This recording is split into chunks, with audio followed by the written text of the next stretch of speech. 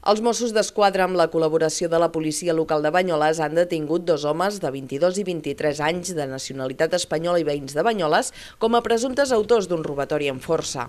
Els fets van passar el 27 de maig a un bar del Passeig d'Arder, cap a dos quarts de dues de la matinada.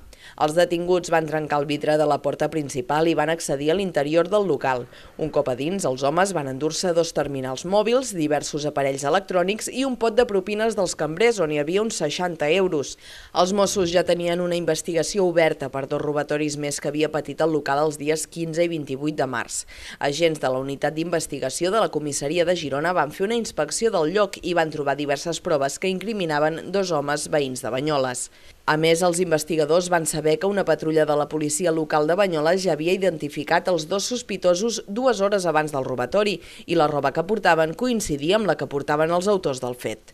Finalment, el passat 4 de juny, els Mossos d'Esquadra van detenir els dos sospitosos com a presumptes autors del robatori amb força.